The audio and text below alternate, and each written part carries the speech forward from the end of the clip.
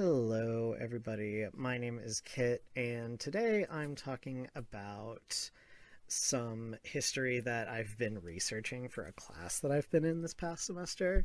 So, I've been taking uh, a class that is focused on queer history, and I've been researching this one particular element of American history that honestly gets talked about a lot in you know school and stuff like that but i didn't know until i took this class that this particular thing was incredibly queer so when i was younger i was in a lot of Amer- like obviously I grew up in the public school system. And so I had a lot of American history classes. When I was in middle school, I actually had a teacher who was really cool because she was this woman who grew up in the segregated South and then left the South because she was her she and her family were African American, left the South and then came back after uh, segregation was like d- overturned and stuff like that. And so she talked a lot about different aspects of African American history and culture in her class. And so we spent a lot of time talking about the Harlem Renaissance. And she, to be fair, this probably wasn't part of the curriculum. She never mentioned how queer the Harlem Renaissance were. So I kind of want to go into a very specific aspect of what developed in the Harlem Renaissance, specifically the ballroom scene. The ballroom scene uh, was in a lot of different places around the U.S. and in Europe, but the specifically the Harlem scene is what we saw develop into a lot of really important elements of queer American history. So I wanted to talk about that because frankly I didn't know until I took this class that it was even queer at all. so yeah. First of all, the Harlem Renaissance. Uh, for those of you don't who don't know uh, or don't remember, because let's be honest, school is easily forgotten because it's been a while. Uh, the Harlem Renaissance was uh, one of the outcomes of the Great Migration, which was the mass exodus of African Americans from the Reconstructed South following the implementation of Jim Crow legislation that systematically suppressed African American voting rights and the not systematic aspects of oppression that were going on there were developments of terror groups like the KKK and the violence they would enact on African Americans down there led to a massive amount of African Americans moving out of the South and going to more urban areas uh, such as California, Chicago, and specifically the Harlem district in Manhattan, New York. And so, with the Great Migration and the newfound concentration of African Americans in Harlem, uh, statistics pointing to there being a about 175,000 individual African Americans, which would make it the largest concentration at that time of black people in the entire world in terms of like being in one city. With that concentration, there was the emergence of an African American middle class, there was the emergence of art, music, dance, all different types of like cultural and artistic expression and development going on during this time period. Artists like Langston Hughes come from this era, a lot of jazz musicians come from this era, things like that. Part of the reason why this was able to develop is because in the North, specifically in Manhattan, there were not as many of these laws like, that were being passed in the South. Like in the North, there weren't Jim Crow laws. There was some amount of segregation, obviously, because unfortunately, there's no place in America ever that gets anything 100% right. However, the segregation and the oppression of African Americans in New York was nowhere near as destructive or as oppressive as it was in the South. So that allowed for African Americans to have more economic movement and be able to pursue the arts. Given that there was this artistic movement, one of the things that emerged was the ballroom scene in Harlem. Now, the ballroom scene initially started out as these balls where people would come and they were generally costume balls and one of the aspects of a lot of the costumes is there would be a lot of people in drag, not just, you know, drag queens. There were obviously there were men that dressed as women, but there were also women that dressed as men. Now, this was actually illegal in the United States at the time, but you know, it's a ball, it's fun, it's a party. So these things kind of developed and they continued to happen and it got to the point that these balls were really well known within the area as these fun things that people went to. Not everyone who went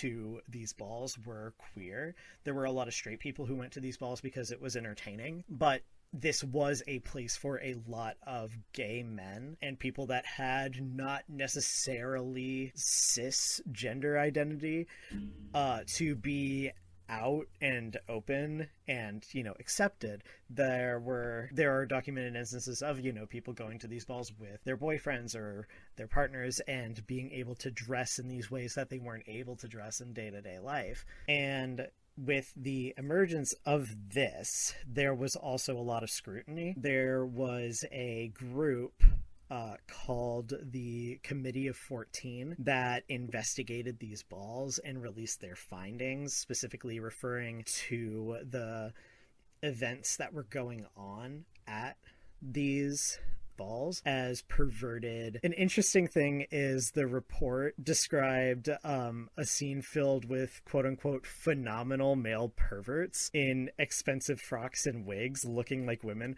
which honestly, as an aside, that's just kind of funny to me that the phrase phenomenal appears in a report that is meant to be condemning these individuals because it's just kind of like this attitude of like, oh my god, this is so scandalous, but they also looked really good.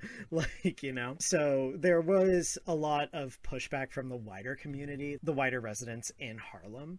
However, that didn't stop these balls from happening. They continued to happen. They started to grow to the point that we see things that look very similar to, if you're familiar with drag, look like drag competition. These are all the precursors to drag, by the way. So the ballroom scene had two very distinct aspects to it. Specifically, there were the events, you know, the balls, and there was also the community aspect. But first of all, the balls themselves were really interesting. They were held in locations such as the Hamilton Lodge or the Rockland Palace, where these performers, generally queens, would come and perform for a panel of judges where they were then scored and critiqued. And, you know, there was placing. There were prizes, things like that. Critiques on the performances had to do with costumes, uh, including the composition and quality of what the performance were wearing, with special note being given on whether these individuals were wearing, you know, luxury or designer brands and whether or not those uh, labels were authentic. Uh, there was also, you know, notice put to people that, you know, designed their own clothes. Uh, the, another thing that was critiqued and scored in these performances were, you know, dance, uh, modeling. The concept of reading comes from the uh, ballroom scene and specifically reading is a term that you know is still used in drag communities that can be described as humorous insults meant to dig out other performers. Specifically with dancing this is where the term voguing comes from. It predates individuals like madonna. It predates you know rupaul's drag race all that. It comes from the harlem renaissance. It comes from like the specific aspect of the harlem renaissance. So they had all these different things that they would perform in and judges would you know score and rank them. And there were different categories too. So all of them are doing these things, but there are different categories, you know, for the type of costumes that these queens would show up in. Obviously, over the years, over the decades, there have been you know newer categories but so these are some categories that as far as i can tell were some of the original categories i got this list from the website the black youth project so first there were the butch queens which were gay men who embodied like this kind of hyper masculine aesthetic. So, you know, like exaggerated masculinity shown off in both the performances that were given and the fashion that were worn by these uh, individuals.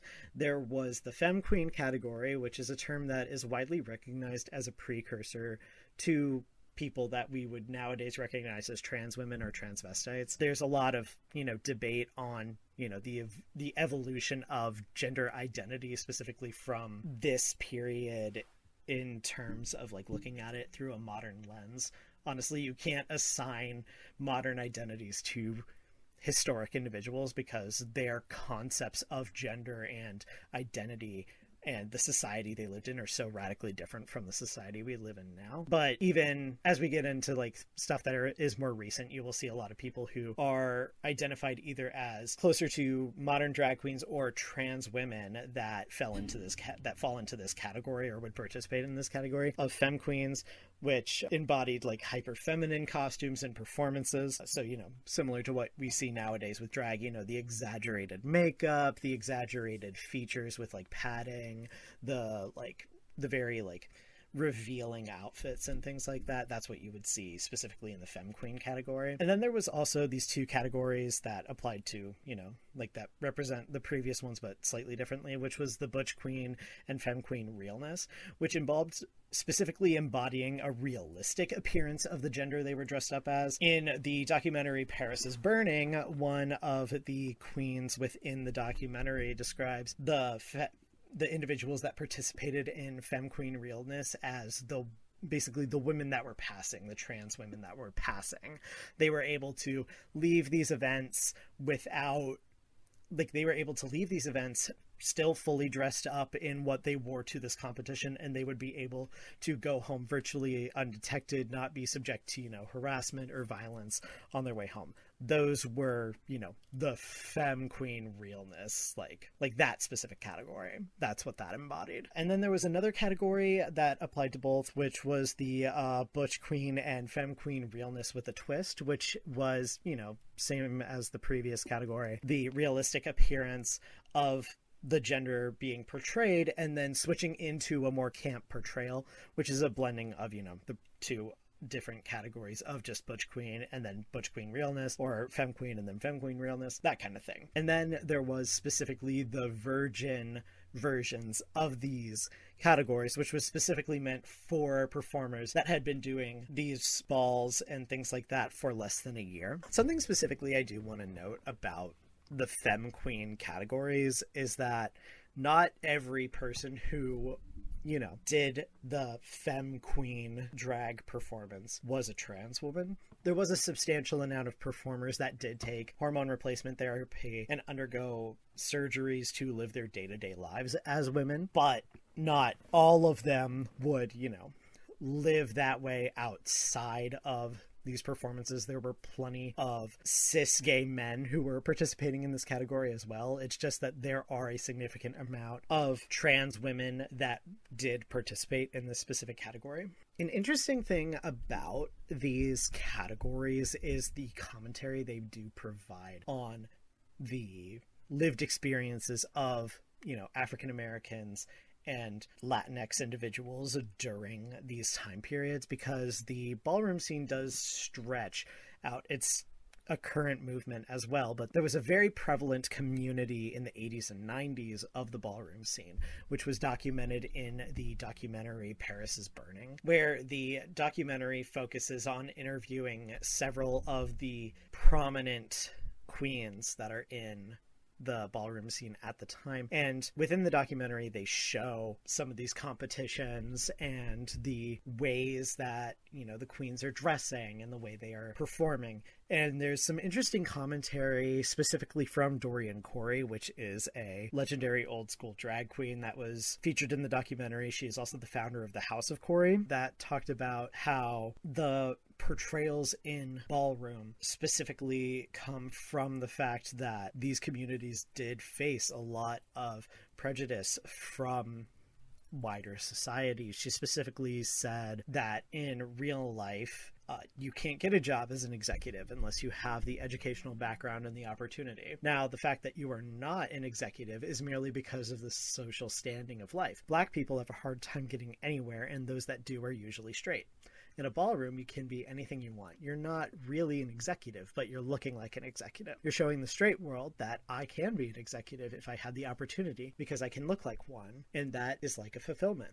The thing is, after I watched that documentary, like obviously I was watching that documentary and reading a lot of different things for research for this project and that quote stuck with me like I was thinking about it even after I had moved on from the documentary. You know, I had gotten a lot of the information I needed to go on to write an essay for this project, but that quote stuck with me, specifically this idea that you have to look elsewhere to be given these opportunities that you know, are not generally afforded to queer individuals, specific or even people of color, much less being a queer person of color. A lot of the economic disparity between different racial groups in the United States specifically has to do with the biases of generally white people in power that are the ones in control over whether or not a person is able to get into a university to achieve higher education or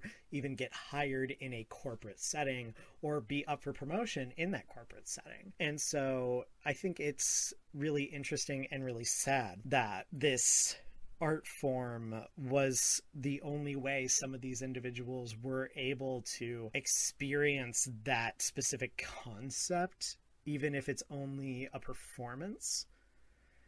And it is just really amazing to me that you know this this was a film that came out in the 90s like 8 years before I was born. And we still see that kind of sentiment today but it is nowhere near as bad as it was then. And so that actually kind of shifts nicely into the second and I would argue more important aspect of the ballroom scene that emerged which was specifically the social element. There obviously was the social dynamics of the ball itself, which, you know, rivalries between different competitors and the different houses. But, you know, there was social elements of it that existed outside of these competitions you know before the competitions happened and after the competitions wrapped up there were still all of these individuals that lived in Harlem and were interacting and surviving. And one of the things that emerged specifically was the houses. And the houses, as described in a couple of articles, are kind of like teams,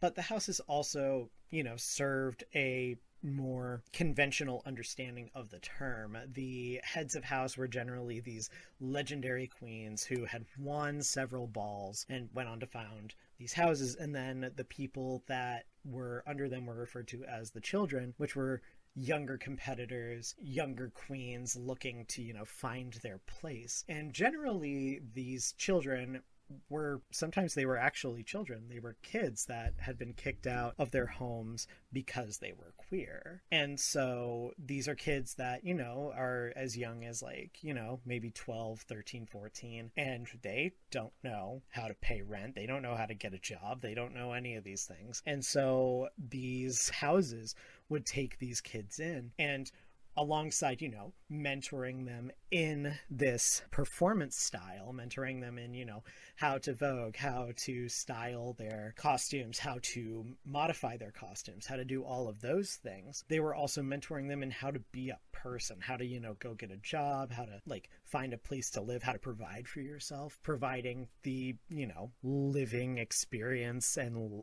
you know, education for living that a nuclear family generally should be providing for these kids. However, because their parents couldn't accept them, someone else had to, you know, pick them up and take care of them. And that was a very important aspect of these houses. That even though they weren't biologically related, they still acted as family. They supported each other. They were there for one another, both in terms of like a competition, like a team, but also like an actual family. And so the existence of these houses, you know, provided individual support and allowed individual queer people to live their lives. But it also had a wider effect because these houses and these communities that, you know, grew and developed around these balls also were also were places where, you know, activism and community change could be perpetuated. This is where we get a lot of the care that was given to people that contracted HIV and AIDS when hospitals weren't really doing anything about providing for these sick individuals, these communities that were either in the ballroom scene themselves or just various queer communities were the ones stepping up to provide for each other in times of crisis. And you would see protests and things like that that would come from the oppression that these people faced that they wouldn't be able to, you know, unite against if they weren't brought together by the ballroom scene. A question my professor insisted that I answer for this essay that I had to write was why do I think that this topic goes unexplored when queer history is analyzed as a whole or studied as, or discussed as a whole? And that is something that I've been thinking about a lot in terms of various aspects of queer history, why it's not talked about in mainstream society, in mainstream classes. When I was in middle and high school, I never heard about queer people contributing to history, even though we've always been here. There are so many advances in society and technology that are attributed to queer people. And while their names aren't necessarily erased, their identities are. I learned about the Harlem Renaissance when I was 13, and 11 years later, at the age of 24, is when I find out out that the Harlem Renaissance, while mainly being a artistic movement for black people was also a artistic movement for queer black people. And things like that honestly as a kid it would have been really inspiring to hear that people like me were doing great things. I'm a creative i'm a writer and as a kid, it was always very disheartening to never really see anyone that was like me in literature that I had to read for class or in the history I was learning about. And so there are a lot of aspects of queer history that don't get talked about unless you specifically go looking for this information unless you specifically decide, you know what, one of the classes I'm going to take this semester is about queer history because you feel as a gay or trans person that you don't know your own history, which is the position I was in. And specifically with the Harlem ballroom scene, there were a lot of things that I realized played a part in the suppression of this kind of information. And frankly, it's really disheartening to acknowledge that these are things that we still deal with today, that these are biases that we have to argue with ourselves about, that we have to argue with other people about specifically, I mentioned the Committee of 14 earlier, right? They were the ones that, you know, released this report on the balls that specifically referred to what was going on as a perversion, as a. It was a lack of morality. It was this disgusting thing that needed to stop. And in a way, I can kind of understand that mentality because we see that kind of sentiment perpetuated in queer spaces today. This idea of like purity, of like virtue, virtue and purity, and not doing anything viewed as gross or immoral or questionable.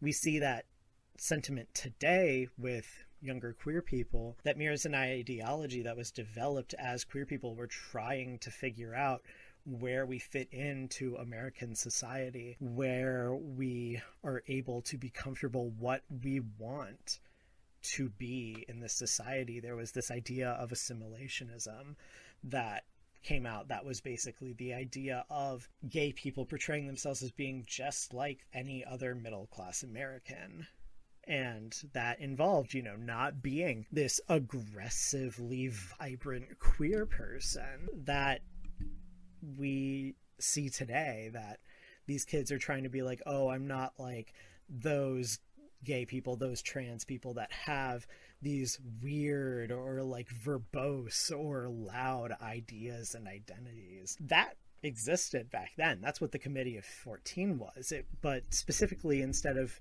being queer people that were trying to distance themselves from other queer people. These were African Americans that were part of a diaspora that came from a place that came from several places where if they even performed the slightest perceived slight whether they actually did it or not, against a white person, they would be subject to extreme violence like lynching and sexual violence. And so I can understand the fear that when you are subjected to living in an environment like that and then leaving to a place that is comparatively safer, not completely safe, but comparatively safer. You don't want to rock the boat, so to speak, with these new people that you are now surrounded by and still are systematically lower than. You want to appear as if you should be there, as if you are worthy of respect. And to be entirely honest, everyone's worthy of respect, whether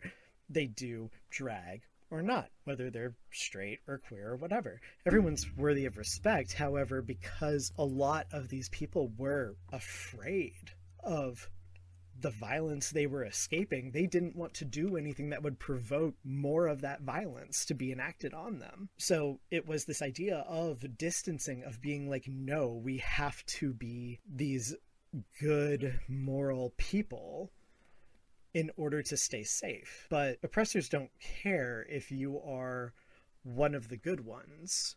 We see that today with the idea of being a good gay. It's a futile attempt at trying to make conservatives like us because we are better than the Tumblr gays or whatever. It's an idea that you see over and over again because history is a circle and it never works. It only, the only way people are going to get respect marginalized people are going to get respect is if they push for it and demand it, not by laying down and trying to be this approachable or desirable type of marginality.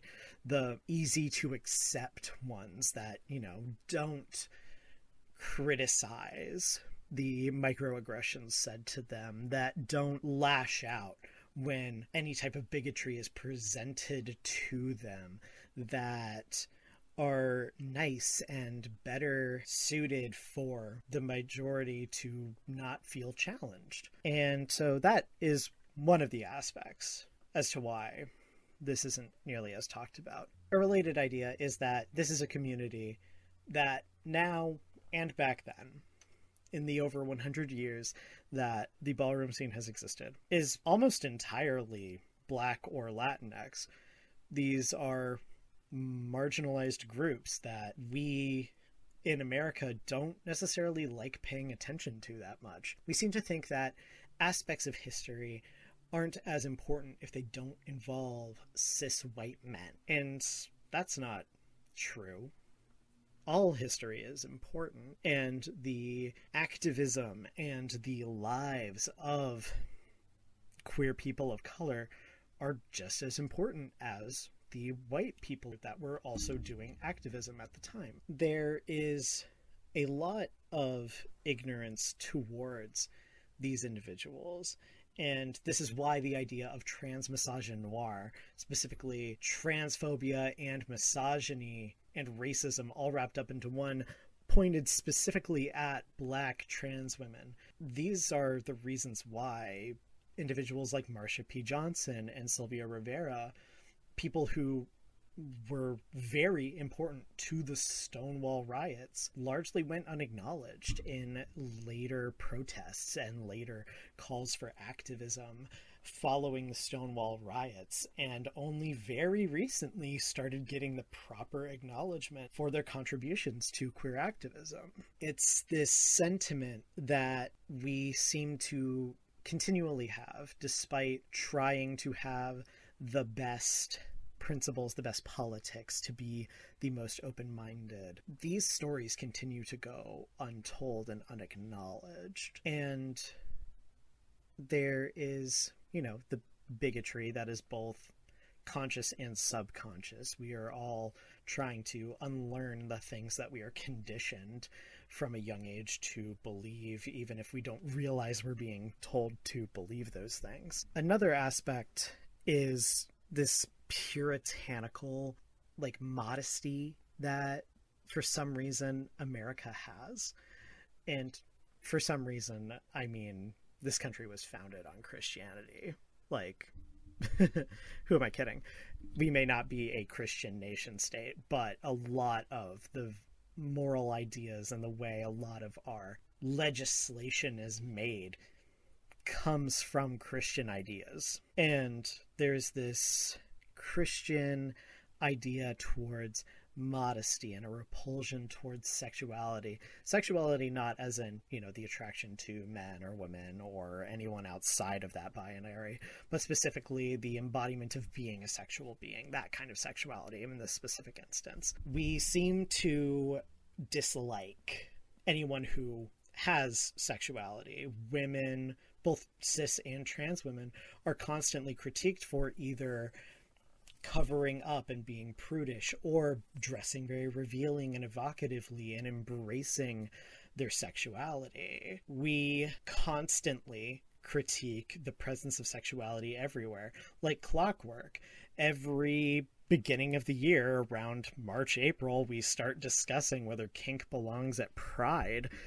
Like it's a tradition at this point. And finally, a lot of the people that are subjected to this scrutiny are sex workers. Even to sex workers have historically and currently faced a lot of issues with the fact that people don't respect the work they do. Companies constantly change policies to try to prevent sex workers from making money. And a lot of the individuals that were part of the ballroom scene, that were part of queer activism, were sex workers.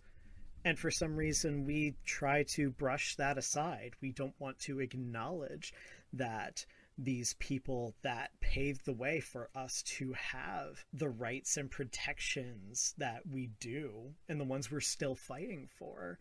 We don't want to acknowledge that they were sex workers. And frankly, it's these ideas of purity and implicit bias and bigotry and this idea of marketability, of assimilation, of being the right kind of person for the majority to like.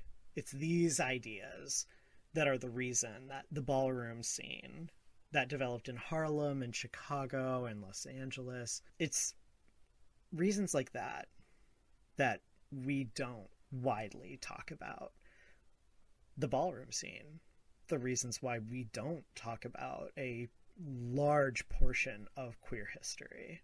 And frankly, I made this video because even though I'm nobody, someone has to talk about it. We all should talk about it. So I'm going to start that conversation.